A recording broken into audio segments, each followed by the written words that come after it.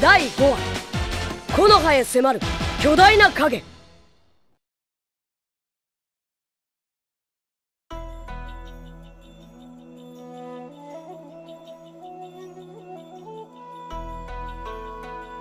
そうか。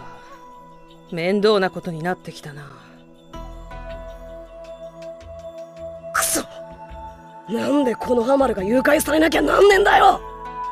すまねえナルト。不意をつかれちゃって。僕たちがしっかりしていれば。ばあちゃん何グズグズしてんだよ。このハマルは俺たちコノハの仲間だぞ。黙ってろナルト。そんなことは百も承知だ。仲間が誘拐されたのに黙ってなんかいられっかよ。そんじゃてめえに聞くが犯人の居場所は分かってんのかよ。そんなのは知らねえ。けど俺たちを襲ってきたあいつを探し出せばいいんだろ絶対に見つけ出してみせる。そう焦るな。俺たちだって皆気持ちは同じだ。カカシヤマトお前たちはこの事件をどう見る？はい。誘拐事件の現場近くにはどちらも特徴的な足跡があり木の葉周辺では見られない珍しい苔がついていました我々が戦った場面でも同じものと思われる苔が発見されています。うん。誘拐事件の現場を捜索している他の部隊からも同様の報告がある。苔の分析結果は出てるんですか？ああ幻獣苔というものらしい。幻獣苔なんだそりゃ。夢隠れの里の周辺に広がる幻獣の森にだけ生える苔のことだよ。ヤマトお前なぜ？そうか。夢隠れの情報をお前に命じたことがあったな。はい。以前に。夢隠れには三頭と呼ばれる守護獣が封印されている。三頭？守護獣？人体にチャクラがあるように自然界にもエネルギーが存在する。天変地異をもたらすエネルギーその塊が具現化した化け物だと言われている。つまり地震や噴火を起こすエネルギーの化身っていったところかな。三頭の口から放出されるエネルギー波は一鳴きで山野を焦がし二鳴きで大地を揺るがし三つ鳴きで全てを無に変えると言われ古の人々はこれを地中深くに封印したとされるところが任海大戦よりもはるか。昔一度だけ三頭の封印が解かれたことがあった。一説によればその時一鳴きだけだったにもかかわらず犠牲者は優に1000を超えたらしい。たった一鳴きで以来三頭は夢隠れの里に封印されることになった。金輪際解いてはならぬ禁忌としてな。もしその三頭の封印が解かれたとしたらその時は木の葉だけではなく世界が滅びることになるかもしれんな。大変です！綱田様！大門前に巨大な化け物が出現したとの報告が。何？まさか三頭こうしてらねえ先行くぜ！待てナルト！あの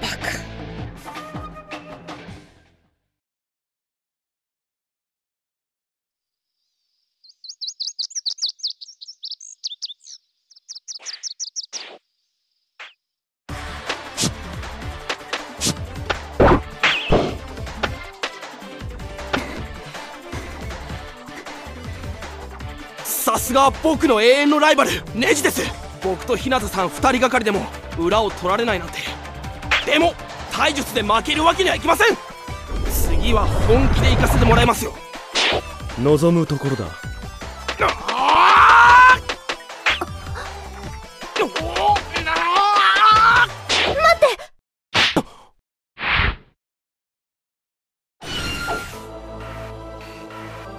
ここから約30キロ先の森の中に強いチャクラが見える。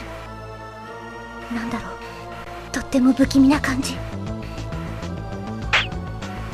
修行はここまでだ。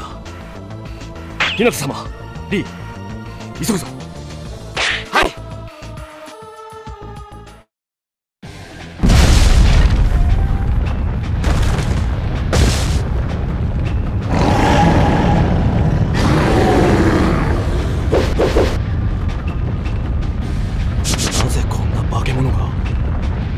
何が起こっている？どんどん木の葉に近づいてる。このままじゃ里が危ない。応援が来るまでの間僕たち3人で相手をするしかなさそうですね。いけるか？はい。もちろんです。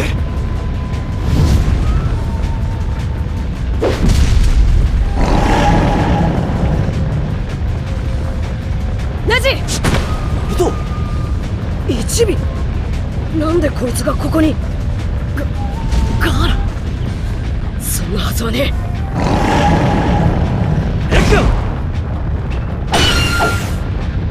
クどうやらあいつは風影とは関係ないようだ。じゃあ何者なんだよ。知るか！二人ともおしゃべりしてる暇はありませんよ。さあ僕たちの青春フルパワーでやっつけましょう。青春は余計だ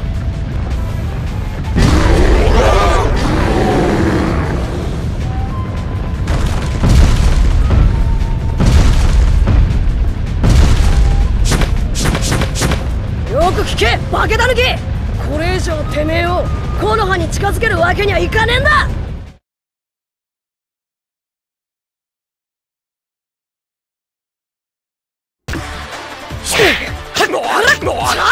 影分身の術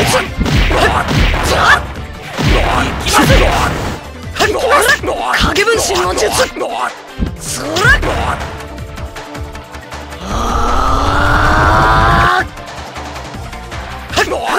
影分身の術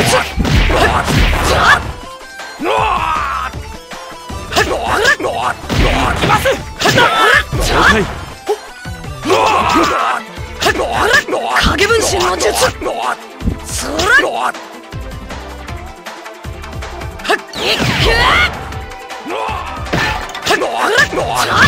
了解行きますそこ無駄だ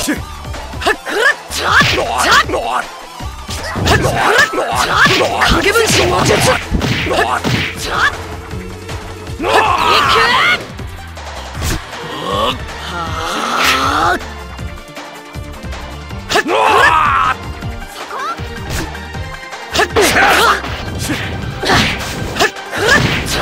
影分身の術くしょ行きます影分身の術。行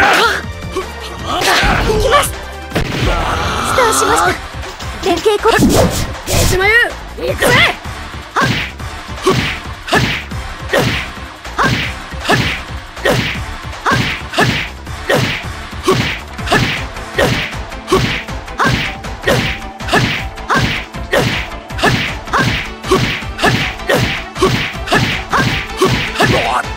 連携成功だぜ大玉数字の4勝や影分身の術はいそら行きますー行きますスターしました連携攻撃ができますよし。疲れが吹っ飛んだ。よっ